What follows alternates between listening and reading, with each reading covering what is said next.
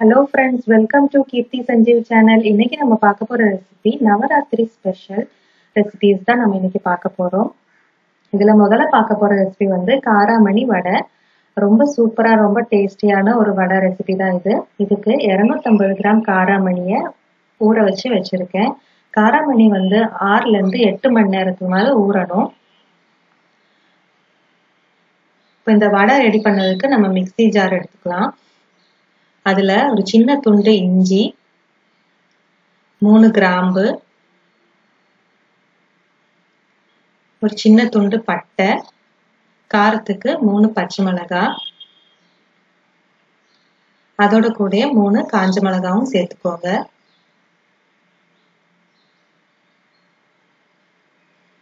ஊற வச்சு வச்சிருக்கிற காராமணி இதுல சேர்த்துக்கலாம். நான் பாதி காராமணி தான் இதில் சேர்த்துக்க போறேன். ஏன்னா முழுசா சேர்த்தோம்னா மிக்சி ஜார்ல அரைப்படாது. இப்ப இத தண்ணி ஊத்தாம அரைச்சு எடுத்துக்கலாம். காராமணி வந்து ஆறுல இருந்து எட்டு மணி நேரத்துக்கு ஊறினாதான் நம்ம தண்ணி ஊத்தாம மிக்சி ஜார்ல அரைப்படும். இப்ப அது ஒரு மிக்சிங் பவுலுக்கு மாத்திரலாம்.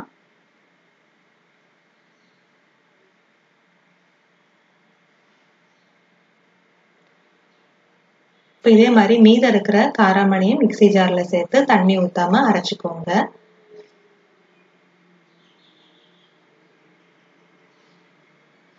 அதையும் நம்ம பவுலுக்கு மாத்திரலாம். இதுக்கு தேவையான அளவு உப்பு சேர்த்துக்கோங்க. அது கூடயே பொடியா நறுக்குன பெரிய வெங்காயம் சேர்த்துக்கோங்க. வெங்காயம் வேண்டாம்னா நீங்க அவாய்ட் பண்ணிக்கலாம். அது கூடயே பொடியா நறுக்குன கருவேப்பிலை மல்லி இலையும் சேர்த்து மிக்ஸ் பண்ணிக்கோங்க. இது மிக்ஸ் பண்ற நேரத்திலே நீங்க வானலியில எண்ணெய் காய வச்சுக்கோங்க. ஏன்னா இது அரைச்ச உடனே நம்ம வடை வந்து தட்டி போட்டுடணும். நம்ம மசாலா வடை எல்லாம் எப்படி நம்ம அரைச்ச உடனே போடுவோமோ அதே மாதிரி தான் இதையும் பண்ணணும். இப்ப மாவு வந்து கொஞ்சம் தண்ணியா இருந்துச்சுன்னா இதுல நீங்க ஒரு டேபிள் ஸ்பூன் இல்லைன்னா ரெண்டு டேபிள் ஸ்பூன் அரிசி மாவை மிக்ஸ் பண்ணிக்கலாம். இப்ப வடை தட்டுறதுக்கு நான் ஒரு பட்டர் ஷீட் எடுத்திருக்கேன். அதுல லைட்டா ஆயில் ஸ்ப்ரெட் பண்ணியிருக்கேன். பட்டர் ஷீட்டுக்கு பதிலாக நீங்க பால் கவர் இல்லைன்னா எண்ணெய் கவர் கூட எடுத்துக்கலாம். இப்போ வடை எந்த சைஸ்க்கு தேவையோ அந்த சைஸ்க்கு நீங்க உருண்டை பிடிச்சி இப்படி தட்டி நடுவில் தொலை போட்டுருங்க. இப்போ எண்ணெய் காஞ்சிருச்சு. இப்போ நம்ம வடையை இதில் போட்டு பொரிச்சு எடுத்துக்கலாம்.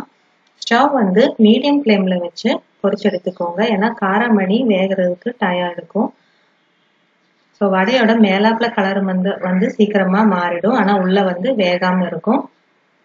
அதனால கொஞ்சம் பொறுமையாவே திருப்பி போட்டு பொரிச்சு எடுத்துக்கலாம்.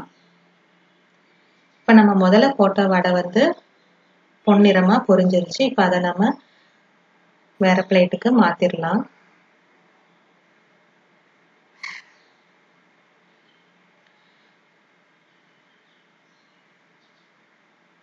இப்போ இதே மாதிரி மீத இருக்கிற வடையும் பொரிச்சு எடுத்துக்கலாம். இந்த வடை வந்து ரொம்ப வித்தியாசமா அதோட ரொம்ப ஈஸியா பண்ணக்கூடிய ஒரு ரெசிபி இது. நம்ம பட்டை கிராம்பு எல்லாம் சேர்க்கறனால இந்த வடை வந்து நல்ல வித்தியாசமா டேஸ்டோட இருக்கும். ஸோ இந்த மாதிரி நீங்க காராமணிய வடையா செஞ்சு பாருங்க. இப்போ அடுத்து நம்ம பார்க்க போற ரெசிபி வந்து அரிசி தேங்காய் பாயாசம். இது கூட ரொம்ப வித்தியாசமா இருக்கிற ஒரு பாயாசம் தான். இதுக்கு இந்த மூணு பொருட்கள் மட்டுமே போதும். ரெண்டு டேபிள் ஸ்பூன் பச்சரிசி துருவன தேங்காய் அதோட வெல்லம். இப்போ ரெண்டு டேபிள் ஸ்பூன் பச்சரிசியை நான் ரெண்டு மணி நேரத்துக்கு ஊற வச்சு வச்சுருக்கேன். இப்போ அதை நம்ம தண்ணி வடித்து மிக்சி ஜாரில் சேர்த்துக்கலாம். அது கூடயே ஒரு கப் துருவின தேங்காய். நம்ம தேங்காய் அளவு எந்த அளவுக்கு எடுக்கிறோமோ அதே அளவு தான் நம்ம வெல்லம் எடுத்துக்கணும். இப்போ நம்ம அரிசி தேங்காவை தண்ணி ஊற்றி நம்ம விழுதா அரைச்சி எடுத்துக்கலாம். இந்த அளவுக்கு நல்லா விழுதா அரைச்சி எடுத்துக்கோங்க. இப்போ இதை நம்ம ஒரு கடாயில சேர்த்துக்கலாம். விழுது எந்த அளவுக்கு இருக்கோ அதே அளவு ரெண்டு பங்கு தண்ணி ஊற்றி நம்ம இதை கொதிக்க வைக்கணும். இப்போ ஸ்டவ் ஆன் பண்ணி கண்டினியூஸாக மிக்ஸ் பண்ணி கொடுங்க. ஏன்னா அரிசி வந்து வெந்து வரும்போது கண்டினியூஸாக மிக்ஸ் பண்ணலைன்னா அங்கங்கே கட்டி ஆயிடும். ஸோ இந்த அளவுக்கு நல்லா திக்காகிற வரைக்கும் நீங்கள் கண்டினியூஸாக மிக்ஸ் பண்ணி கொடுங்க.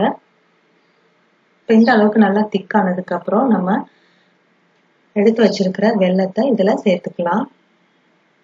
வெள்ளத்தை வந்து ஜஸ்ட் தண்ணி ஊற்றி கரைச்சி வச்சிருக்கேன். இப்போ வெள்ளத்தோட பச்சை வாடை போற வரைக்கும் இதுல கொதிக்க விடலாம்.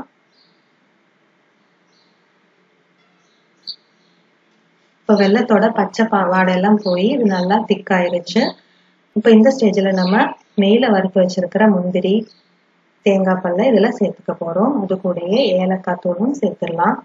அவ்வளோதான் நம்மளோட டேஸ்டியான வித்தியாசமான தேங்காய் அரிசி தேங்காய் பாயாசம் ரெடி ஆயிடுச்சு. இது ரொம்ப வித்தியாசமா அதோட ரொம்ப ஈஸியா பண்ணக்கூடிய ஒரு பாயாசம் ரெசிபி இதே மாதிரி நீங்களும் உங்க வீட்டுல செஞ்சு பாருங்க. பிடிச்சிருந்தனா லைக் பண்ணுங்க ஷேர் பண்ணுங்க சேனலை மறக்காம சப்ஸ்கிரைப் பண்ணுங்க. அதே மாதிரி உங்க கமெண்ட்ஸ் எனக்கு ஃபீட்பேக்கா அனுப்புங்க. என்னோட இன்ஸ்டாகிராம் ஃபேஸ்புக் பேஜையும் ஃபாலோ பண்ணுங்க. Thank you